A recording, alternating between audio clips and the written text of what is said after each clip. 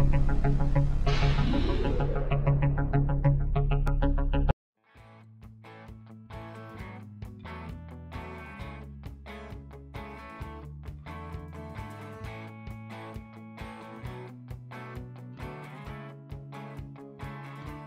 Dog Pound Deli employees have bigger dreams than making sandwiches.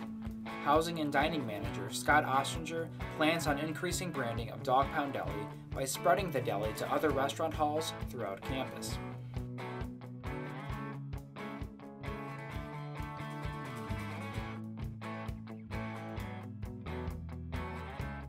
He believes that the Dog Pound Deli name should be more commonly known throughout campus and not just exclusive to Douglas Hall.